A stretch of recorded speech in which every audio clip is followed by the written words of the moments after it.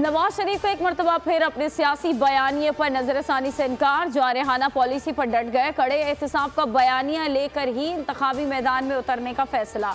London में लीगी क्यादत की बड़ी बैठक की अंदरूनी कहानी सामने आ गई।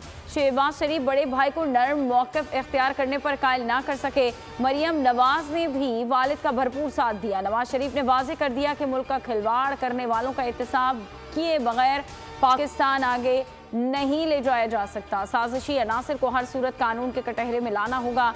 मरियम नवाज़ बोली कि पार्टी का कारकुन भी साजिशी अनासर के खिलाफ सख्त मौकफ अपनाए जाने के हामी हैं। इजलास में पार्टी बयानी और मंशूर के लिए कमेटी बनाने का फैसला। तमाम सी सी मेम्बरान से सात रोज में तजावीज़ तलब कर ली। नवाज़ शरीफ जेल तोड़कर नहीं गए, हुकूमत की इजाज़त से बाहर गए थे। वापसी पर कानूनी पेचीदगियों का इल्म नहीं।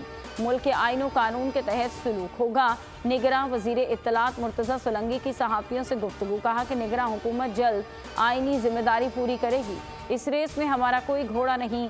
उलझन पैदा करना लोगों का कारोबार है। उम्मीद है कि इलेक्शन कमीशन जल्द हतमी तारीख देगा।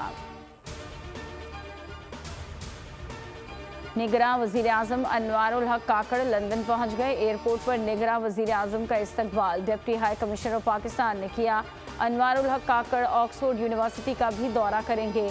निगरान वज़ीर अजम सत्ताईस सितंबर को लंदन से वापस रवाना होंगे। इससे कबल उन्होंने न्यूयॉर्क में न्यूज़ कॉन्फ्रेंस में दुनिया को कश्मीर, फ़लस्तीन और हिंदुत्व से आगाह किया। कहा कि रूस और यूक्रेन को तनाज़े के हल के लिए मुजाकर की मेज़ पर आना चाहिए। इलेक्शन में रिटर्निंग अफसरान मुतल हलकों के नतज रात दो बजे तक तैयार करेंगे। रात दो बजे तक नतज मुरतब न होने पर आर ओ इलेक्शन कमीशन को आगाह करेंगे। रह जाने वाले पोलिंग स्टेशन के नतज सुबह दस बजे तक मुकम्मल किए जा सकेंगे। इलेक्शन कमीशन ने इलेक्शन एक्ट रूल्स की तय शिकों में तरमीम तजवीज़ कर दी। तरमीम के मुताबिक पोलिंग डे के बाद मौसू होने वाले पोस्टल बैलेट पेपर्स को गिनती में शामिल नहीं किया जाएगा। इलेक्शन ट्रिब्यूनल्स किसी पटिशन का फैसला 180 रोज में कर सकेंगे। इलेक्शन कमीशन ने कहा कि सियासी जमातों के इंटरा पार्टी इंतबात पर निगरानी सख्त होगी। नैब इख्तियार बहाल, अहम फैसलों पर कानूनी पेचीदगियाँ बरकरार। जाली अकाउंट्स के तमाम केसेस इस्लामाबाद में चलेंगे, या नहीं फैसला ना हो सका। चेयरमैन नैब ने फैसले के लिए पीर को अहम इजलास तलब कर लिया। जराये के मुताबिक जाली अकाउंट्स के कुछ केसेस कराची में ही चलाए जाने का इम्कान। रिकॉर्ड भी कराची में ही मौजूद है। हतमी फैसला सीनियर हुकाम की मुशावरत से किया जाएगा।